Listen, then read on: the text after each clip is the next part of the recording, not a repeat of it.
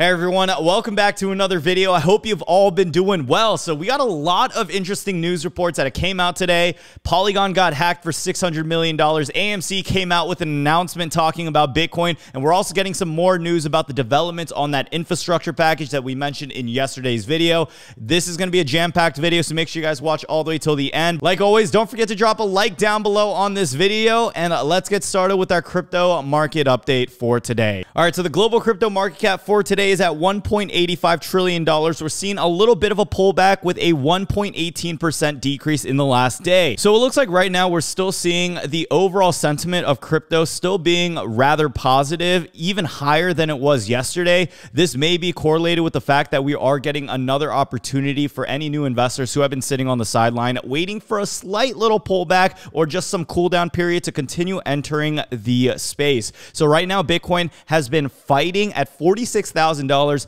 Earlier today, this morning, they've been pulling back to $45,000. And right now, it looks like if we break support on 45, we may be headed back down to 42, which could be another buying opportunity for anyone deciding to go long on this investment. Regardless, it's still been a very solid week, up 19% in the last seven days, and Ethereum even more than that, 26% increase in the last seven days, with Ethereum holding $3,000 support very strong. So the past few days have definitely been a wild wild, wild jump in the cryptocurrency scene. But the question you may have is so, what's going on, Brian? How come we're not making heavy momentum every single day? Now, let me tell you this it is very, very good for us to see these natural pullbacks or days of cooldown, especially during the middle of the week, which we are approaching now. In the past few weeks, while we've been seeing this buildup, we've been seeing pressure accumulating, the volume starts stacking up. And as you can see, we're still at $109 billion in the last 24 hours. We have been seeing more more increase in price structure happening on the weekends. So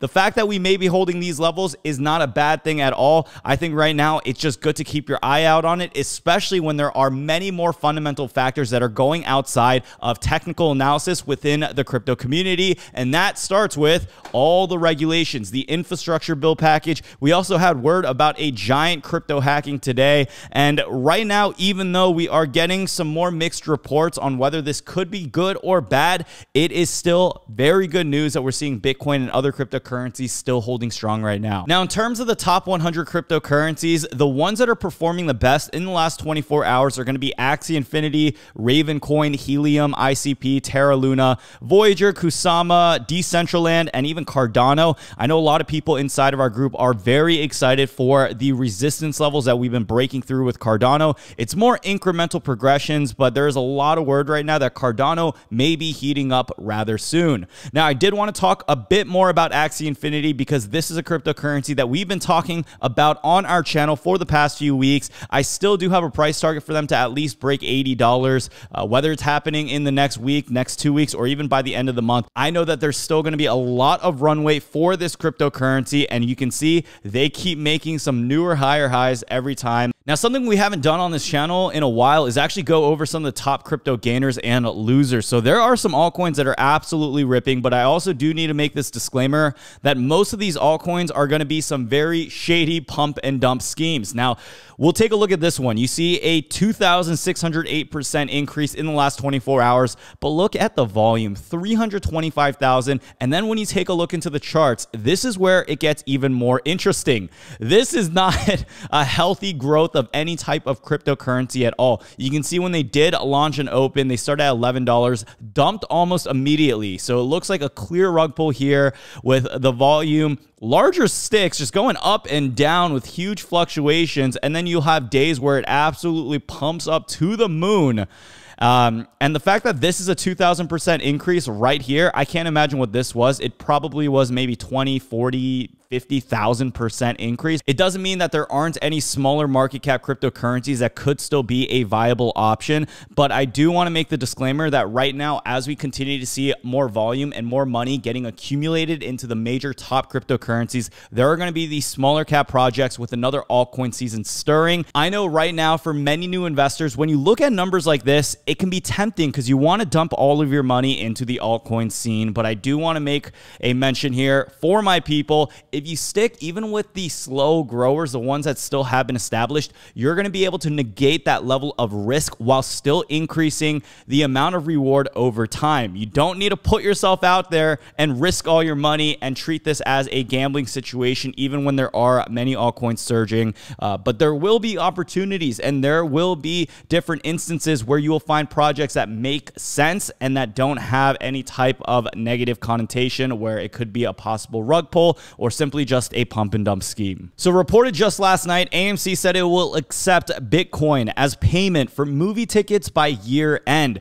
So, CEO Adam Aron said during an earnings call Monday that the movie theater chain will have the IT systems in place to take the cryptocurrency as payment by the end of 2021. So, just a few weeks ago, I had recently went into an AMC just to check it out, just to give it a little tour, and I actually saw some of the different upgrades that they were making uh, when you're trying to get a ticket. So, I can definitely see them implementing a system where it does accept cryptocurrency, whether you scan it with a QR code, you put in your wallet address. So, as much as I want to compare the significance of AMC to another company like Tesla, uh, we did not see the price of cryptocurrency jumping as much as we would before during this past bull run. AMC is currently at $31.86, down 25% in the last month. And I hope that this stock right here begins to pick back up because I am still holding positions on it. I am still holding the bag at the top, way, way at the top.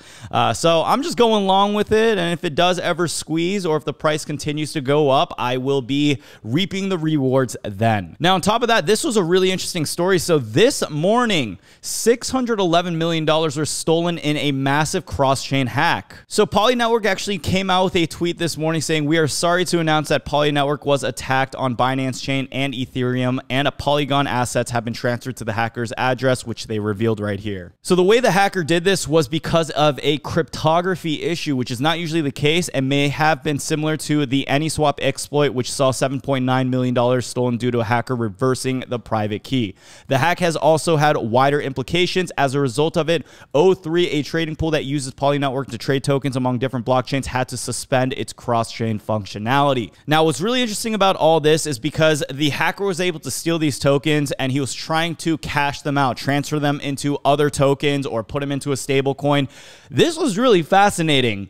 So, there was a user who actually alerted the hacker and sent him a little note on a, a, little tip that he sent to the hacker's address and says, Don't use your USDT token. You've got blacklisted. So this was actually true. USDT was alerted and they actually froze that wallet's address. So he wasn't able to take it out. Because of this information, the hacker was able to make different alternative transfers. And what he did was he tipped whoever told him $42,000 in Ethereum for that type of information. So what ended up happening was uh, many different people started to tip him and send him small amounts, hoping to get more back. We had one person talking about, "Hey, um, I'm from Lebanon and I'm gonna need some bread because I'm a refugee out here. I'm living in some harsh human conditions." And uh, the people were actually looking at the hacker as kind of like this uh, source of donation or charity. So it was just really interesting to see the way all of this transpired this morning. Now, the good news out of all this is that because of blockchain technology, they were able to find the hacker's information. So they got their email address, their IP information, and their device fingerprint.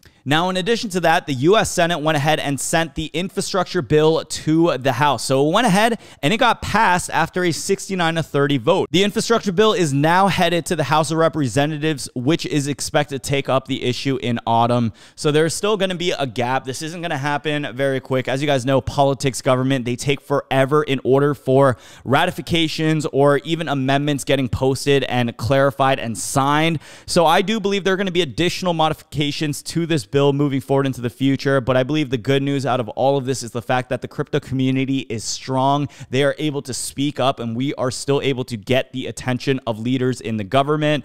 And it just raises more facts and shows us that look, they are afraid of cryptocurrency. They want to regulate it. Anyone who is endorsed by the banks or have any type of puppet strings on any of these representatives of the government officials who are supposed to be bipartisan and fair, we realize that's not the case. And this is exactly why we need cryptocurrency. So it's going to be interesting to see how all this plays out. And whenever we have more regulations or talks about political theater going on in the news, this always drastically impacts the price of crypto one way or another. So if we get good news, obviously we should be seeing more bullish activity with institutions deciding, hey, there is regulation on this, but to a certain amount, and uh, it's not going to prevent us from continuing the adoption of where cryptocurrency is headed. So that would obviously be really good news. But if we do have more additional word that they want to tax this excessively or they want to start adding more regulations in a negative way for the overall crypto market, then I do believe we could experience more pullbacks because people could get shooken up.